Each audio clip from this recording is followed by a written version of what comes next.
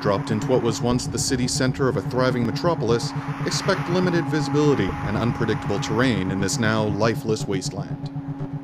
Upon entering the frozen city environment, you'll be immersed in an experience very different from what we have shown before. The dynamic weather conditions will not only impact what you see, but how you play. But the cold will stay constant, allowing for new elements on the map, such as glacier tunnels. Weather will change unpredictably.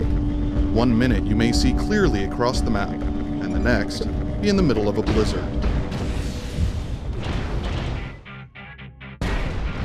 As visibility will vary in these conditions, you'll have to rely more heavily on your sensors and the information sent to you by your teammates.